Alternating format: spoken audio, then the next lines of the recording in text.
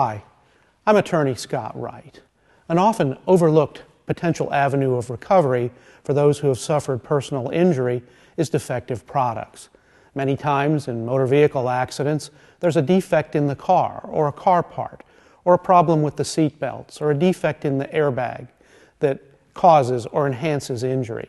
Many times children are injured by defective or dangerous toys. Toys with lead paint are a common example. Many times people suffer serious electrical shock in the simple operation of household appliances and products. Prescription medications, improperly prescribed or improperly filled, or inappropriate for a particular illness, are often a source of injury. A manufacturer owes a duty to the consuming public to make certain that its products are safe for use. If you believe you've been injured by a defective product, please feel free to give me a call. You can reach me 24 hours a day, seven days a week at 723 1997. I look forward to speaking with you.